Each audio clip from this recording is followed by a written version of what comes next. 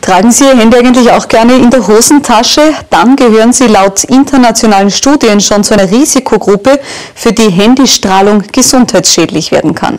Vier Kärntner Jugendliche sagen dieser Handystrahlung, die auch einen negativen Einfluss auf das männliche Sperma nehmen kann, nun den Kampf an, und zwar mit einer strahlensicheren Männerunterhose. Früher trug jeder junge Mann ein Taschenmesser im Hosensack. Heute ist es das Handy.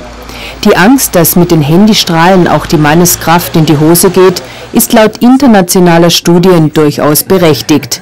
Aber wie soll sich Mann nun schützen? Ein Zufall kam zu Hilfe. Es war ganz ein normaler Schultag und auf einmal wurde die Strahlung gemessen von den Computern und von den Laptops. Und dann habe ich mir gedacht, auch Handystrahlung ist schädlich. Und dann habe ich mir überlegt, was kann man dagegen tun? Und dann ist mir die Idee gekommen, ähm, Unterhosen zu erfinden, die Handystrahlung abschirmen. Ja, und das war dann unsere Idee.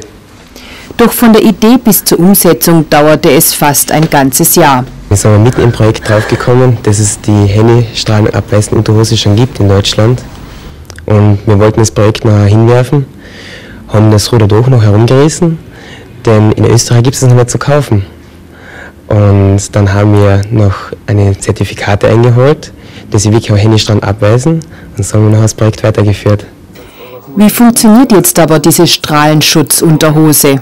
Das ist eine spezielle Unterhose da, da. Die Unterhose, da sind Silberfäden drinnen und die Silberfäden, die schirmen die Strahlung, Handystrahlung ab.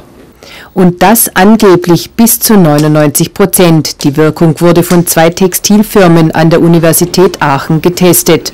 Unterstützt und beraten wurden die Jugendlichen vom Verein JEWI, was so viel heißt wie jung, engagiert, wirtschaftlich interessiert. Unser Anliegen ist, dass Jugendliche so früh wie möglich Erfahrungen machen können, wo sie selber Verantwortung übernehmen, wo sie selber was tun können. Ja. Und das war der Grundgedanke von JEWI, dass Jugendliche selber aktiv sein können.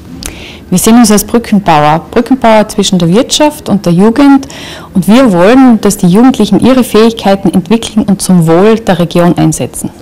Mittlerweile geht die Hose bereits in Produktion. Der Stoff dafür kommt aus Deutschland. Wir werden diese Unterhosen äh, in Zukunft auf Messen in Österreich und in Deutschland vermarkten und erhoffen uns dadurch äh, äh, einen großen Zuspruch. Und es ist ja auch ein Kärntner Produkt und das bringen wir dann sozusagen europaweit auf den Markt. Und damit sich die Hose von anderen abhebt, wurde ihr auch noch ein Kärnten-Design